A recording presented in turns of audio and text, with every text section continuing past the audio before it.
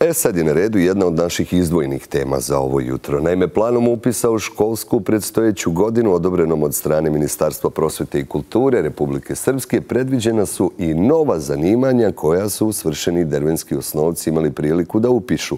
Jedno od njih je zanimanje medicinski tehničar. Kakvo je interesovanje vladalo za ovaj smjer, tema je o kojoj kolegica Biljana Đukić razgovara sa direktorkom Srednjoškolskog centra Mihajlo Pupin, Gordanom Asentić. Biljana, dobro vam jutro i evo da čujemo više informacija ovim povodom. Dobro jutro iz Dervente. Upravo tako, Daniele, kako si rekao, odobren je upis jednog odjeljenja za zanimanje medicinski tehničar u Dervenskom srednjoškolskom centru Mihajlo Pupin.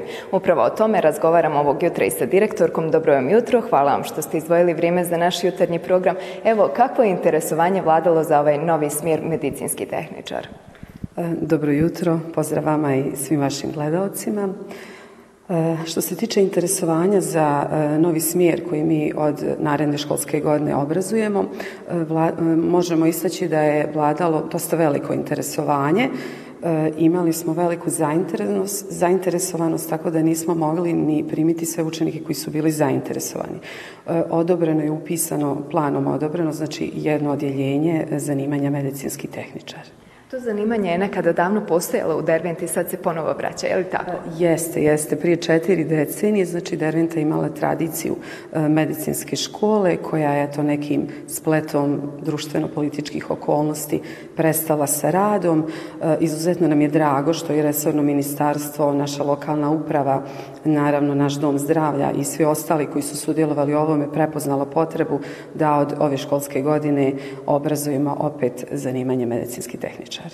Osim ovog zanimanja, šta su to još svršeni dervenski osnovci imali priliku da upišu? Za šta će moći da se obrazuju naredne četiri godine? U ovoj školskoj godini e, planom upisa predviđeno je, e, predviđen je upis jednog odjeljenja opšte gimnazije, e, jednog odjeljenja gimnazije računarsko-informatičkog smjera, odjeljenja informacionih tehnologija, također odjeljenje tehničara mehatronike, kao i odjeljenje autoelektričara i električara. Naravno, medicinske tehničare sam već spomenula. Možemo reći da smo u potpunosti zadovoljni jer smo 100% tako reći ispunili plan upisa i realizovali sve što je predviđeno. Gdje je bilo najviše interesovanja za koja zanimanja, onako koja su učenicima možda ostala po strani, da je bilo možda malo manje interesantno? E, ovako, što se tiče najvećeg interesovanja, već e, nekoliko proteklih godina, najveće interesovanje je za struku elektrotehnika, zanimanje tehničara informacijenih tehnologija obzirom da je to jedno e, veoma atraktivno zanimanje, znači to su znanja primjenjiva u svim oblastima privrede i nekih drugih djelatnosti naravno, tako da je to djeci veoma primamljivo, a znamo koliko te informacijone tehnologije napreduju, koliko se razvijaju, e, naravno oni se u toj sferi bolje snalaze od svih nas. Tako da je tu bilo znači da smo imali dva odjeljenja, mogli smo i dva odjeljenja da upišemo za tehničara informacionih tehnologija. Također veliko interesovanje vlada za tehničara mehatronike, što je također ovaj, veoma razumljivo s obzirom da je i to jedna jedno da, jako traženo zanimanje, jako primjenjivo i naravno e, djeca danas prate i to e, koje, s kojim platama mogu raspolagati kad završe ili srednje školovanje ili fakultete, naravno ako se odluče da nastave svoje školovanje dalje. Evo rekli ste ove godine popunjen je taj kapacitet, popunjen je broj učenika, ali kakva je situacija iz godine u godinu kada napravimo neku statistiku i neki pregled, smanjuje li se broj učenika?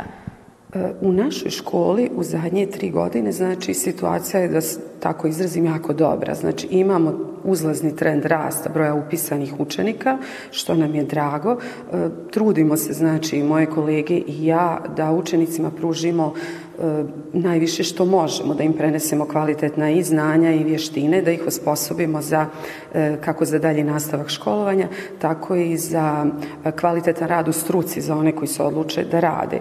E, znamo danas koliko je teško biti prosvjetni radnik u, u ovom našem društvu, ne samo ko u našoj zemlji, već i u zemljama u okolini.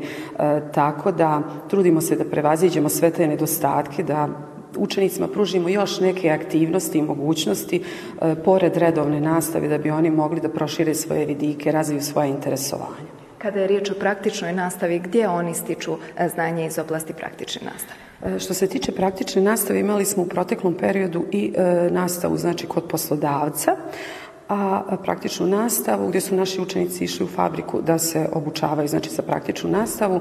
E, trenutno, e, konkretno za zanimanje tehničar mehatronike i tehničar informacijonih tehnologija, praktična nastava se odvija u školi, u e, kabinetima. Imamo opremljen resursni CNC centar, sad je velike industrijske mašine gdje učenici stiču ta praktična znanja uz, da napomenem, veoma kvalitetan nastavni kadar i imamo e, kabinete informatike, pet kabineta informatike gdje se odvija praktična nastava e, za informatičke struke. Tu naravno imamo i bolje opreme, a i opreme koju treba dograditi, ponovo ovaj, srediti, jer znamo koliko je ta oblast zahtjevna, koliko to brzo napreduje. Radili ste u prethodnom periodu baš upravo i na unapređenju uslova za rad nastavnog osoblja, ali i svih učenika. Šta je urađeno, a šta su planovi za neki naredni period? U proteklom periodu e, kada uzmemo školske objekte, znači puno je rađeno, Ovi, evo, konkretno ova zgrada je bila uništena u ratu, znači puno toga je urađeno, naravno sanirano uz pomoć našeg grada, naše republike, kao i stranih donacija. Što se tiče opremanja kabineta, u planu, u planu je opremanje svih kabineta, znači i oni koji su dobro, da tako se izrazim, opremljeni, naravno nekom novom savremenijom nastavnom tehnologijom, a i kabineta koji su, da tako kažem, malo slabije opremljeni, znači da bi učenicima naravno mogli pružiti što kvalitetniju nastavu. E, trenutno je u fazi opremanje kabineta zdravstvene njege za medicinsku struku.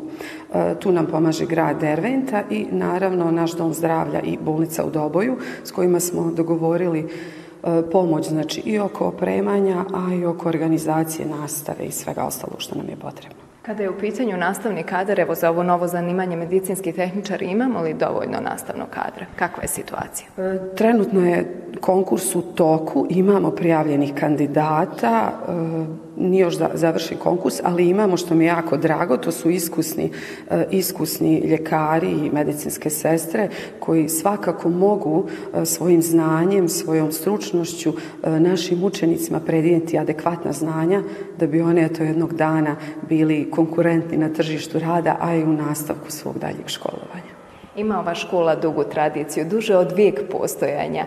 E, brojni su učenici koji su ostvarivali zapažene rezultate kako na opštinskom, tako i na regionalnom, ali i republičkom takmičenju, tako? Jeste, jeste.